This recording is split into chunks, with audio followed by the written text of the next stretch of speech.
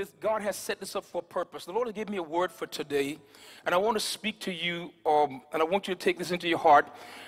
God is, is allowing certain things to happen, and we're wondering why. Sometimes God allows things to happen, and we wonder why God does that.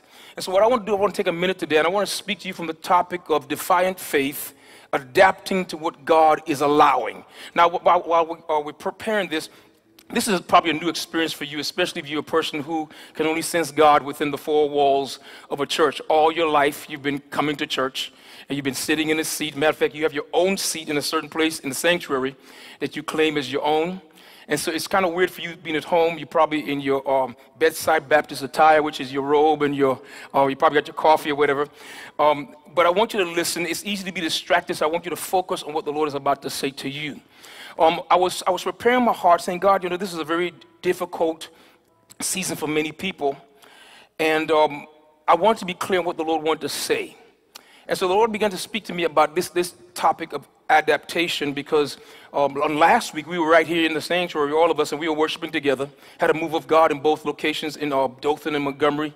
Um, online or Communion City on Saturday, we had a move of God as well. Now here we are um, this week, uh, this Sunday morning, of sitting in front of computers and receiving the Word of God this way. Um, I want to speak to you on the, this wise because God is trying to teach us that there are things that He's going to do that He will not explain to us before they happen. And this entire message is going to be us looking at what God does without explaining it. The word, the definition of the word adapt means to, to alter something in order to make it suitable or usable for a specific purpose. It also means to undergo modifications in order to fit new circumstances. And I believe that the world is going through a shift. The world is changing to some degree. And because it's changing and we don't know the timetable of God, it feels strange to us. And it feels in, in a lot of ways like, like the carpet has been pulled from under us. It feels like, like uh, um, the enemy is winning. But I want you to know something, and I've been saying this for years the devil always overplays his hand, and God always wins in the end. Amen? Uh, we're in a situation now, uh, for whatever reason, God has prevented His church for a season from gathering in buildings to, uh, uh, to moving us to connecting online and in our homes. I can only imagine what God is targeting, but God knows what He's targeting. Uh, maybe, uh, maybe we took our gatherings for granted. Or, or maybe we became comfortable just meeting Him at a certain address and then leaving Him there, and then we call that church. And maybe God is trying to remind us that we are the church. And that he, the Lord says, Upon this rock I will build my church, and the gates of hell will not prevail against it. Maybe what God is trying to do for us is to kind of recalibrate us to show us that wherever He is, that's where we are. Not just within the four walls, not at a certain address, but we are the church, whether we are present in a building or not. So, regardless of the why, we do know that God has allowed this. And I want to speak to that word allow for a minute. It means that God has permitted it, and for a season, God has sanctioned it. And God has given his nod to this because it plays into his overarching plan for this culture and this generation. So I want you to kind of um, listen with me for a minute as I speak to you about this. On the screen for me, put Second Thessalonians. Uh, well, let's, let's do a confession first. Um, I, I want everybody in the room and everybody watching at home to confess with me. Ready? Let's confess together. I'm about to hear the life changing Word of God that creates, instructs, delivers, and empowers. I receive from the Lord eyes to see, ears to hear, and a wise and understanding heart. I choose to believe the gospel of the finished work of Jesus Christ, and I will leave here today full of faith, full of life. Uh huh. In Jesus' name, amen. Don't you clap to the Lord if you don't mind doing that? Clap in your home as well. Listen, this is a wonderful time to turn your home into a sanctuary for the Lord. Teach your children that wherever, wherever you are, wherever you, wherever you gather, that's where the Lord is. Amen? And so you, you may not leave here today, but you're going to be there where you are, full of faith, full of love, and full of life in Jesus' name. In 2 Thessalonians chapter 3, verse 1, I, I want to take my text from there. And because of uh, we're online, we're kind, of, we're limited in our time.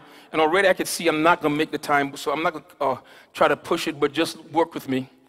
The Apostle Paul is writing to the church in Thessalonica, and he gets to a certain part in his, in his uh, word to them. He says, Finally, brethren, pray for us that the word of the Lord may have free course and be glorified even as it is among you. And I want, I want to kind of speak to this text as I unpack it. He says to them, This is not this is the last thing I'm going to say to you. He said, But this is an important point. Um, I was trying to work my way to this, and he said, um, I want you to pray for us that the word of the Lord may have free course. In other words, um, the word of the Lord will, not experience any successful resistance. And believe it or not, that's what this, that's what this time is for. The Lord has, has, shut things down, I believe, in this world, allowed the enemy to, to play uh, this uh, virus card because the word of the Lord needs to have, have free course and needs to be center stage. He said, I'll pray for us that when we speak the word of the Lord, it will do what it's supposed to do. And when he used the term be glorified, it means to be accepted by sinners. He said, This is a time where the sinners are going to hear the word of God, and we want the word of God to do what it's supposed to do, even as it did with you. Verse 2 says, and that we may be delivered from unreasonable men and wicked men. Uh, the word unreason, unreasonable here is a funny word. It literally in the Greek means weird.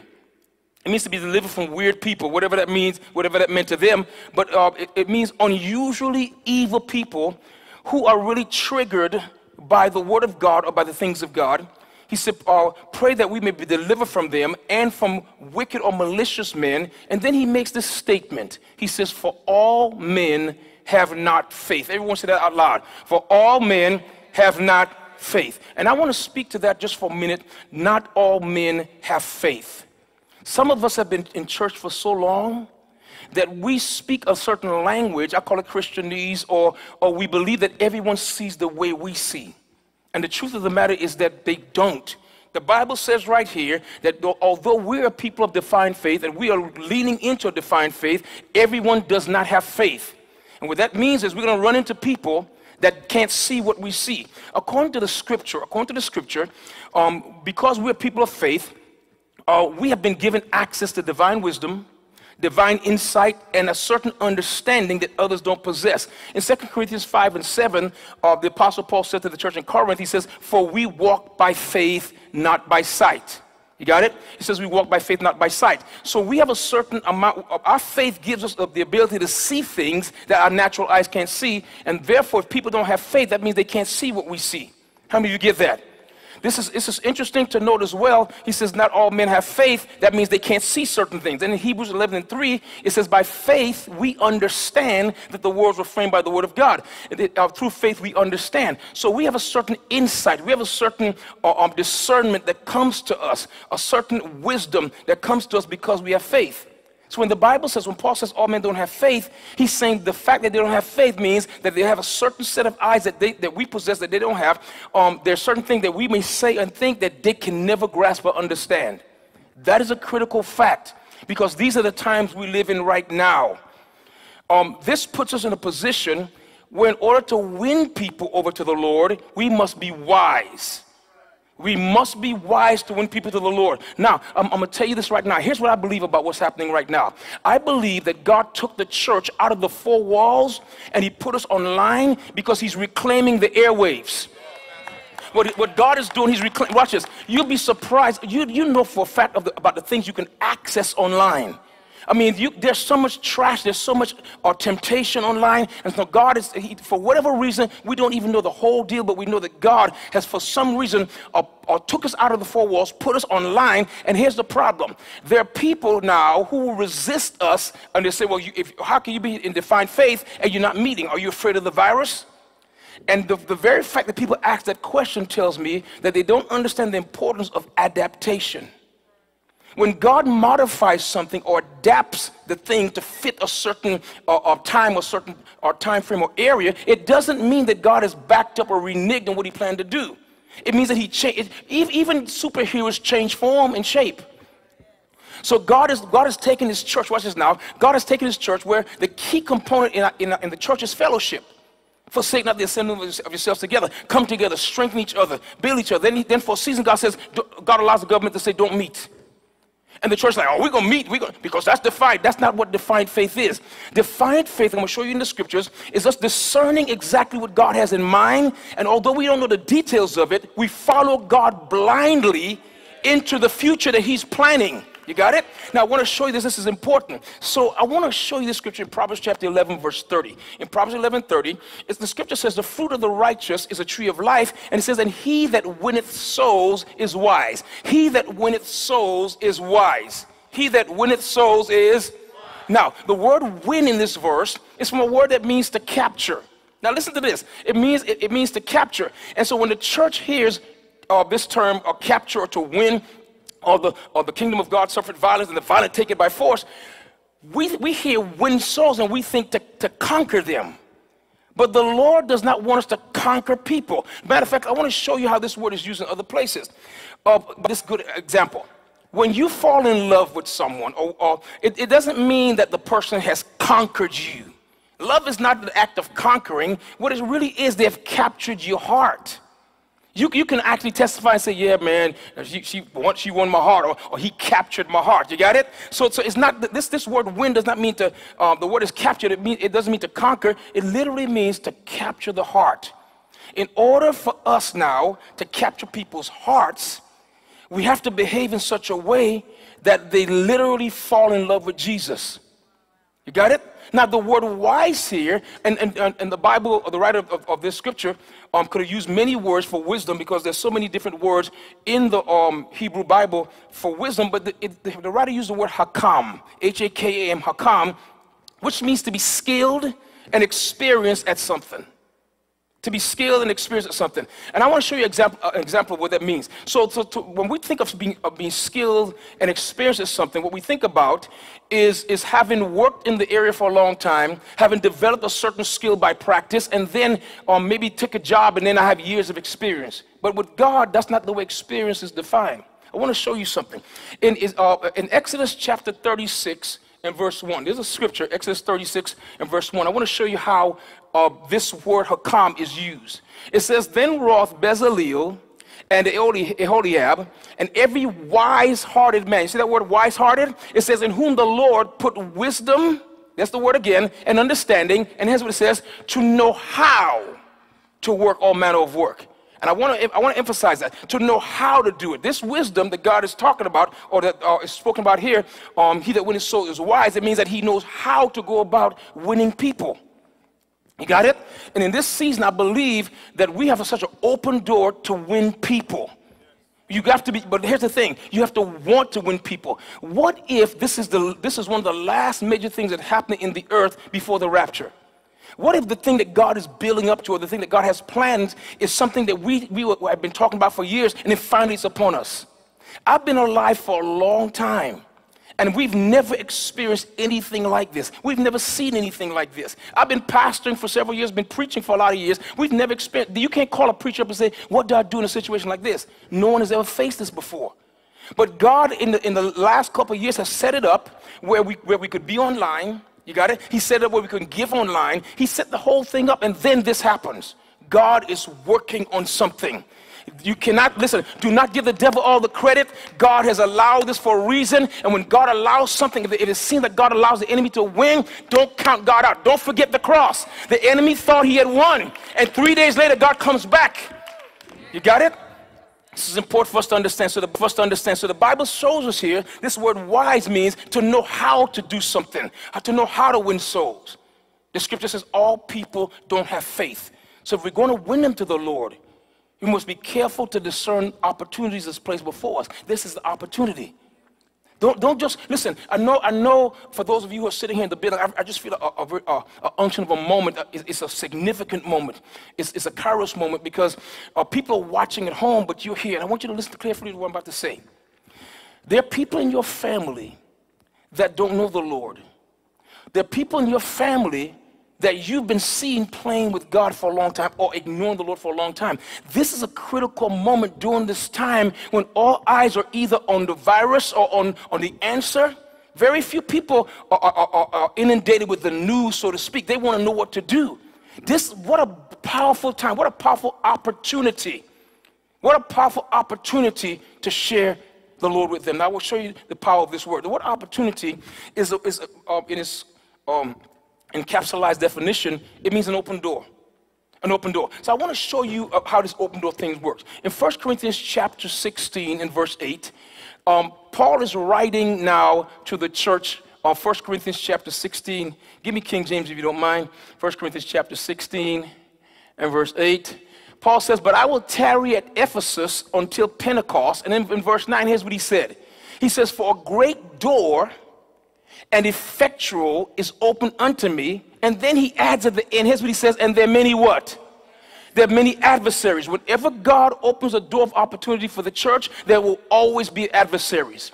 There will always, the enemy will always, when, the enemy notices when doors open in the realm of the spirit, and what he does, he rushes demonic forces by the doors to shut the doors down so that what God is trying to get through the door will not come through the door. That's where the church comes in. Paul, Paul matter of fact, at one place, Paul says, pray for me because God just opened the door. And just like he said, uh, when I, in the first scripture I read, is that whenever a door opens, our call is to pray. We don't know what's going on, but our call is to pray. Our call is to do what? Pray. Okay, now, maybe could it be that God kept us at home? You can't go to work because God wants you at home praying?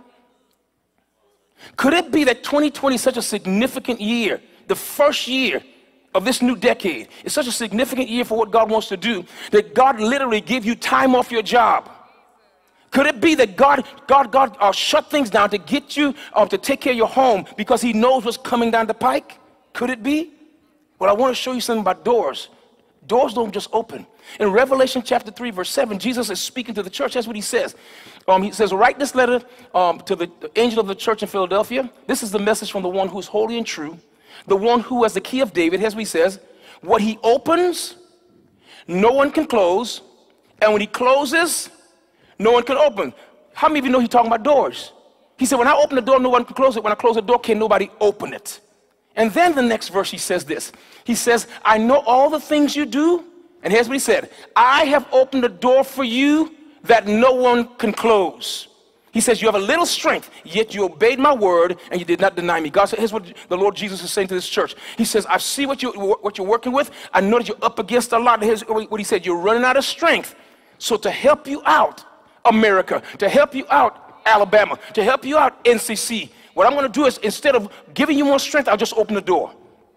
This is an open door season.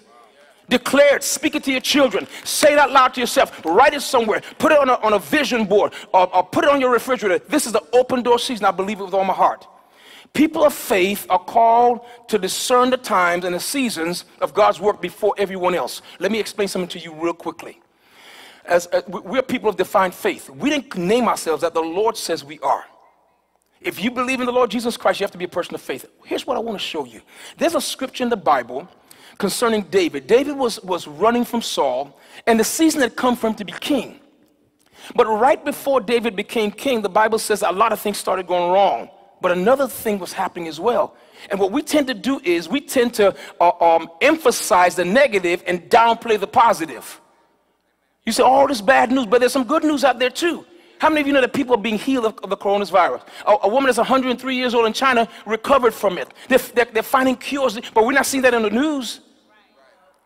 We're not seeing it on the news, but they're, good things that are happening. Here's what I want to show you. Put, I'm, go, I'm going to go through a bunch of scripture, maybe one, two, three, four verses. In First Chronicles chapter 12, first give me verses 1 and 2. I want to show you something. So David is running from Saul. Saul is still king, but God has anointed David to be king. It says the following men joined David at this place called Ziklag while he was hiding from Saul, son of Kish. They were among the warriors who fought uh, beside David in battle. Look at verse 2. It says, in verse 2, quick if you don't mind. There you go. All of them were expert archers. They could shoot arrows or sling stones with their left hand as well as their right. Now get this. They were all relatives of Saul. David is running from Saul, but they were all relatives of Saul from the tribe of Benjamin. But why would they go, why would they join David if Saul is their relative? Here's why. Because they saw something. They didn't know what it was, but they discerned something was coming and they knew it involved David. But it gets even better. Go down to verse 21. In verse 21, the Bible says they, helped David chase down bands of raiders, for they were all brave and able warriors who became commanders in his army. Look at verse 22. Verse 22 says, Day after day, more men joined David until he had a great army like the army of God. Look at verse 23. It says, there are, uh, These are the numbers of the armed warriors who joined David at Hebron. Um, interestingly enough, the, the, the word Hebron, the name Hebron means association. It means the gathering of people who, who uh, pool their resources together. So although um, the church may be, may be scattered and decentralized, really believe it or not, God is, God is actually joining us together. Sometimes God has to pull the local church apart to establish the global church. This is going to be the year, watch this, I, have said this word before. This is the year of collaboration, of co laboring. And we have become so territorial. We become so, so dismissive of each other's gifts. Uh, uh, uh, one prophet prophesied in 2020, he says we're, gonna, we're in need of teachers. So, what do you do when your church doesn't have a teacher? You import one from another church. Why? Because the whole church belongs to the Lord Jesus. You got it? And so I want you to see this now. The Bible says that they were joined together at a place called Association or Hebron. They were all eager, watch this, to see David become king instead of Saul, just as the Lord had promised. No one talked to them. It just dropped in their heart from the on high and they start gathering towards David. But there's, a, there's other scriptures. Look at verse 32. In verse 32, the Bible says, from the tribe of Issachar. Now, different tribes are coming, different people coming, but from the tribe of Issachar, there were 200 leaders of the tribe with their relatives. And look what the Bible says. All these men understood the signs of the times and they knew the best course for Israel to take. Check this out. The Bible says here that the people, God was joining people to David. What was he doing? God was working on something. And God never said it was going to happen. G David was always in God's presence. He was writing songs. They're, re they're recording the psalm. But God never told him about uh, the, the time that I promised is at hand. God never said anything to him. All he started seeing is things started shifting. God started allowing changes to happen. People start coming from, Troll, uh, from some Saul's family. And David's just watching all this shift happening. What's happening? God is adapting. He's, he's adapting everything towards where he's going. Keep your eyes on the, the way things are shifting. Keep your eyes on what's happening because what God is doing, He's turning this thing around for His good. Look at verse 30, uh, uh, 38. The Bible says, All these men came in battle array. They were dressed for battle to Hebron with the single purpose of doing what? Making, making David the king over all Israel. In fact, everyone in Israel agreed that David should be the king. By the time all this assembling started to happen, by the time David had all his full army, the Bible says that by, by the time everybody was around David and postured, all of Israel was already convinced now David should be king without David running a political campaign. God himself touch people's heart. Right now, I believe all around the world, in the church, and the, uh, uh, um, around in, in every nation, God is posturing and positioning people for what He has planned. So there will be times when we, by faith, must lead the way, undeterred by the fears, the threats, the opinions of faithless people, because everyone doesn't have faith. In order to pave the way for these people deliverance, we have got there are times where we have to push our way forward. But there are other times when by faith, watch this now, we must behave in ways and make decisions for the sole purpose of reducing the fears of people that don't have faith. Remember, they can't see what we see. They don't understand what we understand. So if the, if the, if the community, if, if, the governor, if the president, uh, or the mayor says churches don't assemble, listen, what, why would we assemble? We, we have faith. We know if we come here, watch this now, and we stand on the word of God and plead the blood of Jesus, nothing is going to happen to us. But what about this? What about we submit to the, to the order that they gave and, and adapt ourselves to what God has allowed to find the purpose of God? You know what we try to do? We try to keep on doing the same thing we've been doing. We keep, you keep trying to push forward, and God is like, no, I changed the agenda. And what happens to the church a lot is the church keeps going down the one path when God has changed the way He wants to lead. Amen? Now, I want to show you this. I want to show you this. This is important. This is important uh, I want to show you an example of the Apostle Paul. I'm running out of time, and I'm going to go over my time tonight because I'm in charge. Amen. Put it on the screen for me, Acts chapter 16, verse 1. I just made a command decision by the Holy Ghost. The Bible says that Paul went first to Derbe and then to Lystra, where there was a young disciple named Timothy.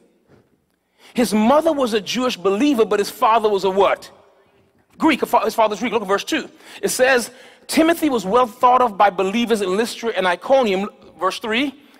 So Paul wanted him to join them on their journey. In deference to the Jews of the area, no, look what he said, the Jews of the area, Paul arranged for Timothy to be what? Circumcised before they left. Why?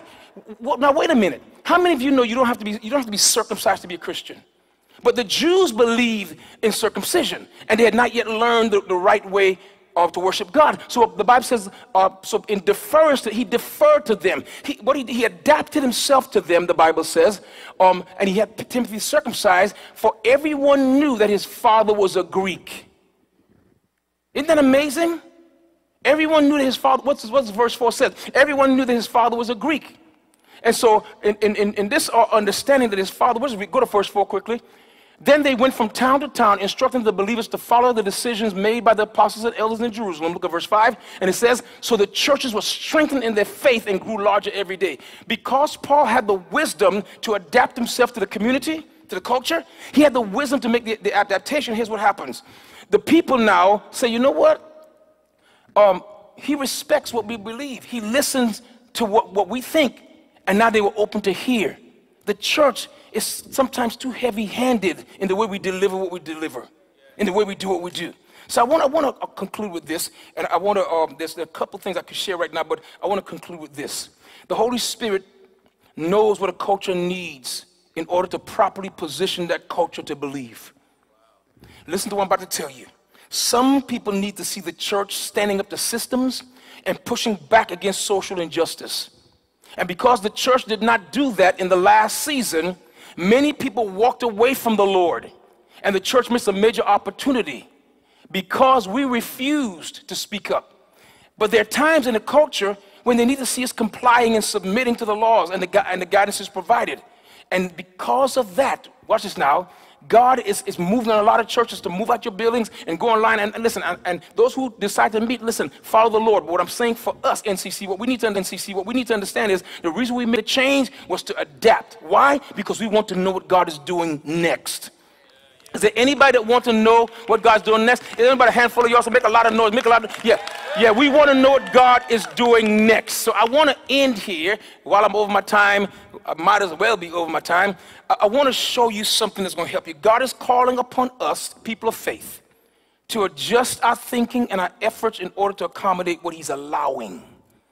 What God is allowing. What is God allowing in your life that you seem like no matter what you do, you can't resist it? Could it be that God is using a heavy handed approach? He's pushing you in a certain direction? Is He allowing your circumstances to kind of corner you? Is He doing it for a reason? Could it be that it's not the enemy? Could it be it's God? Could it be that God wants us to make the change so He could give us what He has next? I want to show you something. In the scriptures, 1 Corinthians chapter 9, verse 18, put the Passion Translation up there. I want to show you something. People of faith must realize that a culture that is thrown into crisis is an open door for the Lord to draw people to Himself. A culture that is thrown into, into crisis is an open door. So we must adapt our faith. Everybody say, adapt our faith. I want to show you something. So Paul is Paul is, is telling this. Uh, he's talking to the church in Corinth, and he's kind of giving his mo or the way he goes about doing what he does. He says, "So then, um, where is my reward? And I'm using verse 18 because I want to show you what he's saying. He says, It is found in continually depositing the good news into people's heart without obligation, free of, free of charge, and not insisting on my rights to be financially supported. Paul begins this thing, and here's what he said. Paul says, You know why I don't take pay? He said, I don't want to be paid because I want to be free of obligation to you. I don't want to owe you a thing so you can't tell me what to do. But in the next verse, that's what he said. He says, Now, even though I'm free from obligation to others, in other words, no one told us we couldn't meet. No, they simply suggested it. They say, well, these are guidelines. But here's what Paul says even though I'm free from obligation to others, he said, I joyfully make myself a servant to all. Why? Why? In order to do what? In order to win converts. It, right? Win, win as many converts as possible to the Lord. Is that wise? Yes, that's how we capture people. He says, I don't have to do it. He said, but I made myself do it. Why? Because I want to win converts to the Lord. Look at verse 20. He says this. He said, I became Jewish to the Jewish people in order to win them to the Messiah. He said, I became like, an un, like, like one under the law to gain people who are stuck under the law, even though I myself am not, am not under the law. next verse says what he said. He says, and to those who were without Jewish laws, I became like them Paul said, if I went to if I went to a party and they were dancing, I danced too. You got it? He said, if they offered wine, he said, uh, if, uh, depending on my disposition, I may take a sip. I, went to a party, they offered me champagne. I said, cheers.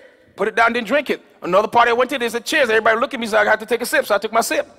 I didn't die, it ain't going to hell. What I became, I became like them to do it, to win them. What? Look, watch this now. He says, um, in order to win them, although I'm not outside the law of God, but under the law of Christ. Look at verse 22. He said, I became weak to the weak. Why? To do what? To win the weak. He said, I've adapted. Look at this.